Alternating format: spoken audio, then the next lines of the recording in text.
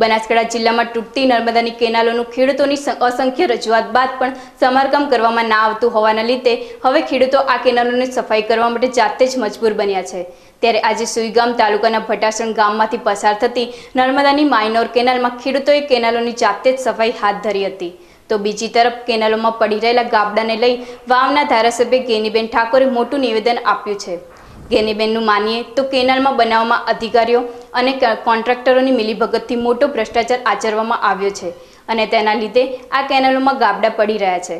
અને આ બાબતે ખેડૂતોના હિતમાં આગળ જે પણ કરવાની નોબત આવશે તેના માટે પોતે તૈયાર રહેશે તેવી ચીમકી પણ ઉચ્ચારી છે.